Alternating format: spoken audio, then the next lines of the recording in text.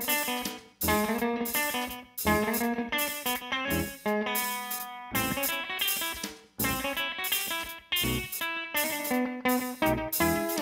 everyone and welcome to Gertie's Sewing Show where we provide non-stop excitement for the sewing nerd.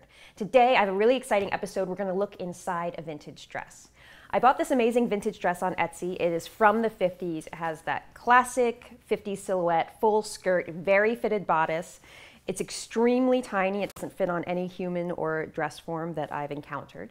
So uh, we're just going to look at it flat here and then we'll open it up and take a look at the inside because there's a lot of cool stuff going on on the inside. It has a built-in crinoline, um, an inner corselet, and a waist stay, a lot of great stuff inside here. So first let's just kind of talk about the outside. The most unusual thing about this dress is that it zips up the front. Uh, when I saw it on Etsy, the seller had this is the front, which is actually the back. But if you take a look at the shaping of the dress, it has a lot of seaming and darting up the front and it releases to fullness in the bust. This definitely does not go on the back. So this is definitely the front of the dress and you can see when we look inside the corselet that there is bust shaping inside there as well. Has raglan sleeves, which means it has these little seams underneath the sleeve, but it's almost like a gusset shape. See how it meets in a point underneath there? Uh, there is elastic underneath the sleeve to hold it really close to the body. There's a lot, like I said, a lot of darts and seaming throughout to, to make this really shapely and then to make it flare throughout the skirt. Very, very full skirt. Uh, it's a beautiful fabric. It's like a red, very um, dull, not shiny satin. It's gorgeous. So um, let's open it up and take a look inside. So we have a, a metal zipper with a centered application. Of course, you know, metal zippers are really the only kind you see in dresses of this era, so they have a very special sort of vintage touch to them. Now, first thing you'll see when you open it up is there is a second zipper right underneath there.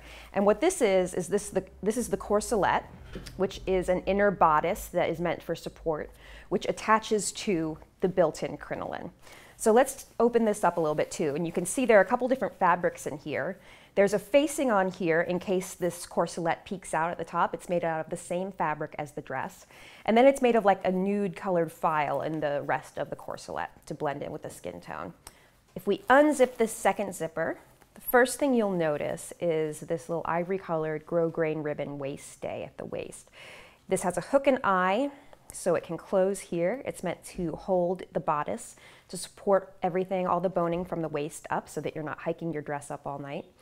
And then if we open this, open up the corselet, this is very beautiful. You can see there's vertical boning all throughout here, spiral steel boning. There's quite a bit of hand stitching in here. This red thread uh, is where the facing is stitched onto the corselet here in case it pops out throughout the bodice. Because it does do a little peekaboo effect at the top, which is really cute. Uh, the waist stay is stitched on by hand. It has these little hanger straps right here so that you don't have to hang it from the actual sleeves. So let's take a look under the skirt now. There's a lot of cool stuff down here too. Uh, beautiful full skirt. One of the things that you'll notice is that you can't really see any of the stitching. It's very well hidden. The hem is very smooth.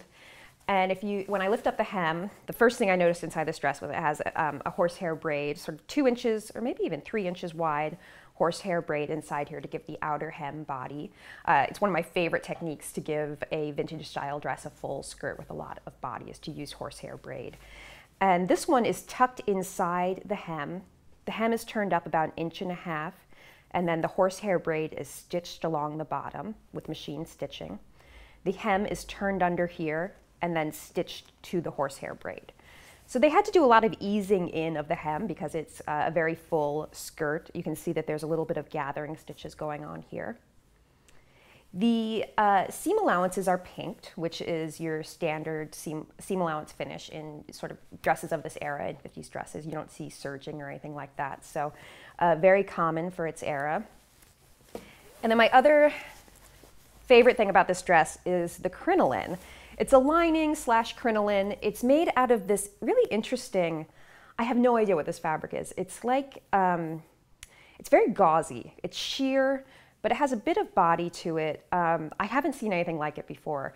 Um, I imagine it's cotton. It um, has a sort of slubby weave to it.